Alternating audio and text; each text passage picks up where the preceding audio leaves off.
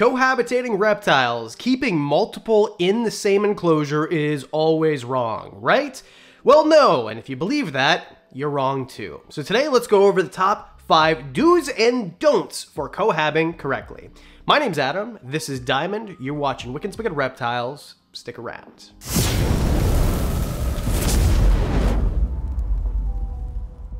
Let me be careful with what I say here. Cohabbing reptiles isn't always wrong. In a lot of cases, it is wrong. You don't want to cohab a lot of things. In fact, there are more things that don't work than do work. So let's go over the basic do's and don'ts, but of course, this is not a comprehensive list.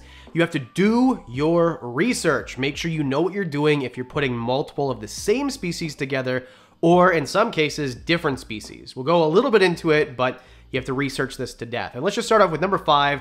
You do want to research. This is just very obvious.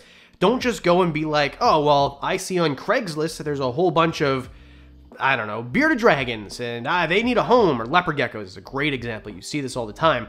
I'm just going to throw them together and hope for the best. Don't do that. In fact, my don't in this category is wing it. Do not wing it. Don't just oh, well, I think it'll probably be okay. The last owners had 27 leopard geckos in a five gallon enclosure. I can do that. No, you can't. And you shouldn't, because that's silly goose stuff. So when you're doing research, research temperatures and humidities and the whole thing, and make sure that you have multiple areas for these animals to get those things. For example, Bearded dragons is a controversial one. Most people will tell you that bearded dragons can never be cohabitated. And if you cohab bearded dragons in a 120 gallon enclosure, 4x2x2 rather, you can't. But if you had, say, something that was 6 feet long and 2 feet deep and, I don't know, 4 feet high, you probably could keep two females together if you follow the rest of the list. But you want to research first. Make sure there's multiple basking areas. Make sure that these animals aren't fighting for resources. Make sure that the females aren't aggressive with each other. You gotta make sure that you do the research first and know what you're getting yourself into. And of course, research compatibility. I mean, don't put two male leopard geckos together. This is clear and obvious. Even if you have them in a huge enclosure, 300 gallon enclosure, if you go to sleep the next morning, you're going to be getting one of them off the glass with a hose. It's going to be some assembly required for one or both. They're going to try to kill each other. Don't do this. You have to know the compatibility. Same thing if you have, I don't know, say mourning geckos and dart frogs. So many people do this, and I love this combination.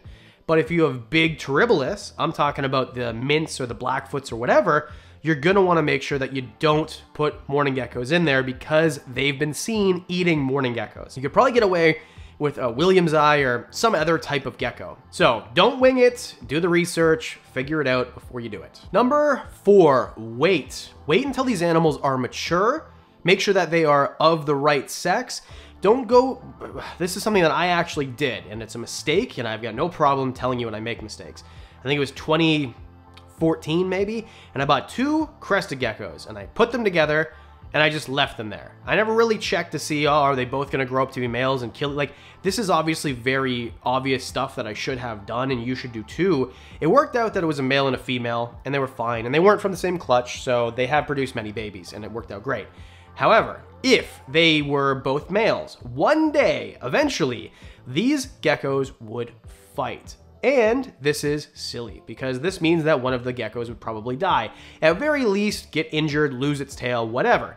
So make sure that you wait till these animals are of appropriate size before you put them together. Make sure you wait to find out the sex of these animals because most of the time, for most lizards, you do not want to put males together. Now, there are uh, exceptions to the rule. Stenodactylus, the dune geckos, for example, so there are, of course, examples where this is not the case, but for most of the time, uh, males are going to kill each other. And then, of course, there's exceptions, right? So dart frogs, for example. I know frogs are amphibians. You don't need to write me a comment. I know. Let's not be silly here. Everybody who's into reptiles is into amphibians, or for the most part, they, the hobby is together, okay? For most part, most species of, say, Dendrobates, Tinctorius, whatever, these guys, the females might fight, where the males would be completely fine. So you just do your research, as number five said, and then wait to make sure that these are animals that are ready to go into the same enclosure. Don't just hope for the best, like I did. It worked out for me, but it might not work out for you. So don't just hope for the best, wait. Number three, have a backup plan. Do not get caught sitting on your hands. Don't be in a position where, let's suppose you're gonna have two leopard geckos together. Females oftentimes do really well. And just as a bare basic, do more research than this, but in a nutshell, make sure that they're appropriate size, similar age, if they come from the same clutch, even better, make sure that they're not aggressive towards each other, etc., etc. Either way, put them together in the enclosure. We're gonna go what you do after you put them together in a second. But either way, don't just get caught sitting on your hands and not have a backup plan. Don't go buy two female leopard geckos. Oh, I've got a 40 gallon enclosure. I recommend a bigger enclosure for two, and it's gonna be fine. Well, what if they start to fight? What then? What do you do? Now you have two fighting geckos and you have one enclosure. You are unprepared. If you fail to prepare, you prepare to fail. This is the case with everything in life for the most part, but either way, especially with animals. So if you, for example, even if it's a breeding thing, it's a cohab for a short amount of time. For example, reticulated pythons. If you have a male and a female reticulated python, okay, and these animals don't get along and they start to bite the crap out of each other, which is something that could happen with retics. It's not the most common thing in the world, but I'm just using that as an example. Then now what? What are you gonna do? Do you have an enclosure for both of them? Or don't be the, the guy that oh, I'm gonna get two, it's a breeding pair, so I'm gonna stick them together and I'll get an enclosure down the road. No, you won't. No, you won't. Don't get the animal until the enclosure is actually at home.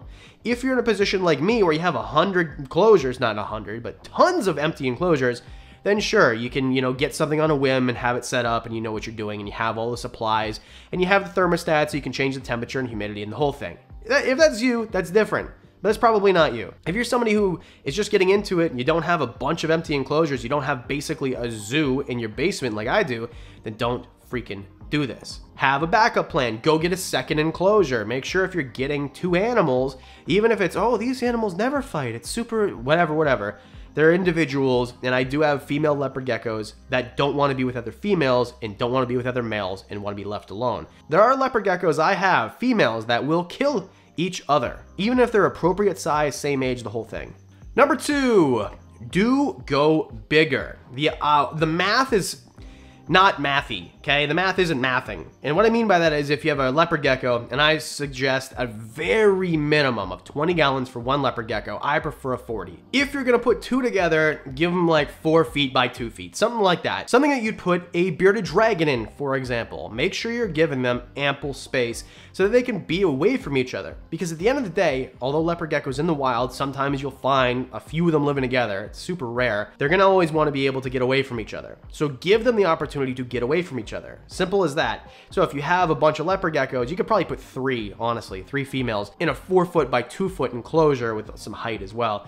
Just make sure you set it up correctly, know what you're doing, do more research than watching this, and don't go bare minimum period. I do not recommend this for one gecko or lizard or snake or whatever, but I definitely do not recommend it for two or more, more than two.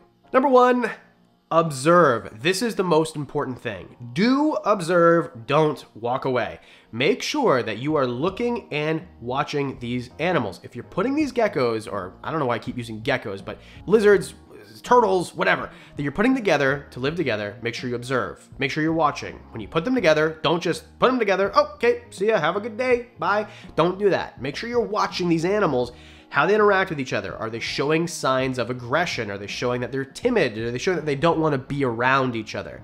Make darn sure that you are doing your job, which is to observe these animals period. Super important. I've got Schneider skinks. I love these guys. They do a great job of living together. It's a male female. They can live together full time. And it's just they don't overbreed with each other. Now, there's other animals like Cuban false chameleons, for example, which I have. They're actually a red-throated anole. Anyway, this whole, this whole thing. Basically, the male bred the female basically to death. And this is because although they were fine for months and months and months and months, I put them together one day and he injured her to the point where she passed away. And this is just something that, although I don't expect you in a breeding situation to always watch every second, make sure that you know what you're doing. The reason that I didn't put them together full time is because I knew that it was possible for him to overbreed her. And same thing if you put two females together. Make sure that you're not in a position where, oh, well, they're fighting, but it's probably gonna be okay. It's not. Monkey tail skinks are another great example where I've got a bunch of monkey tail skinks. They do better in groups.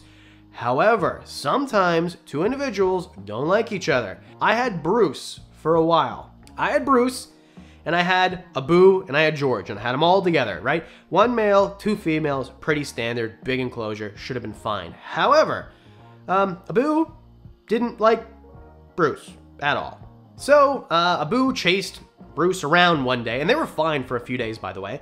And then uh, all of a sudden, they're in my office, and I see that Abu is chasing around and biting the tail and biting Bruce, and Bruce was a little bit smaller, so Bruce had to find a new home. So that's why I only have two monkey tail skinks and not three, basically. That's the idea. So make sure that you are watching the animals, observing, don't just walk away. Period. Let me know in the comments section what you think is the best advice for cohabbing, the do's and don'ts. Leave a comment down there, hit the like and subscribe button while you're there. It really helps this channel and it costs you nothing other than a click. Thank you so much. And a special thanks to the Patreon supporters. You guys are freaking amazing. You get discounts on merch, you guys get extra videos, you get one-on-ones, all that and more for as little as $1 a month. That's it. I do videos on Mondays and Thursdays, so that means I'll see you in the next one.